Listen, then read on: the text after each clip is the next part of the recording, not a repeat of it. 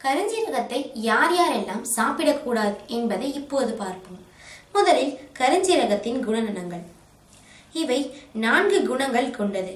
இது உடலில் உள் சென்று என்ன செய்யும் என்ன செயல் புரியும் என்பதை நாம் இப்போது பார்ப்போம்.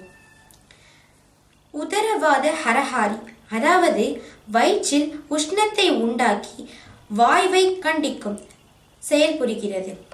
இரண்டாவது சுரஹரஹாரி அதாவது காய்ச்சல் ஜுரத்தை நீக்கும் செயலை புரிந்து எத்தகைய காய்ச்சலையும் எதிர்த்து குணமாக்கும் ஆற்றல் கொண்டது.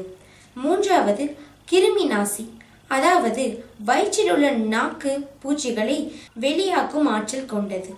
நான்காவது ஜடராக்கினி வர்த்தினி. அதாவது தீபனத்தை உண்டாக்கி செரிமான சக்தியை உண்டாக்கும் செயற்கை கொண்டது. சரி இப்போது மேல்கண்ட குணத்தில் இது வயிற்றில் உஷ்ணத்தை உண்டாக்கும் செயல் புரிவதால் இவை சிலருக்கு சில உபாய செய்யும்.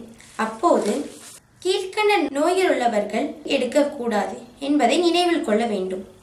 மலச்சிக்கல் உள்ளவர்கள் குடல் புண் உள்ளவர்களும் வாய்ப்புண் உள்ளவர்களும் உடல் அதிக உஷ்ணமாக இருப்பவர்களும் பெண்களின் அதிக உதரப்போக்கு அதாவது பெரும்பாடு நோய் உள்ளவர்களும் மூல நோய் அதிக நாளில் அதிக நாள் பாதிக்கப்படுபவர்களும் பௌத்திர நோய் நோய்களும் வெளிமூலம் உள்ளவர்களும் இரத்த மூலம் உள்ளவர்களும் சீல் மூலம் உள்ளவர்களும் மூலக்கடுப்பு உள்ளவர்களும் இரத்த பேதி உள்ளவர்களும் அதிசார பேதி உள்ளவர்களும் இரத்த வாந்தி எடுப்பவர்களும் குழந்தை பேருக்காக காத்திருக்கும் பெண்களும் குழந்தை தரித்த பெண்களும் குழந்தை உண்டாகி பிரசவ காலம் முடியும் வரை கருஞ்சீரகம் எடுக்காமல் இருப்பது சால சிறந்தது.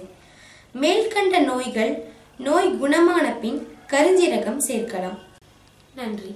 யூடியூப்பில் யாஹூ மெடிடேஷன் சென்டர் அப்படின்னு போட்டிங்கன்னா சேனலுக்குள்ள போவோம் ஹோம்ல இருக்கும்.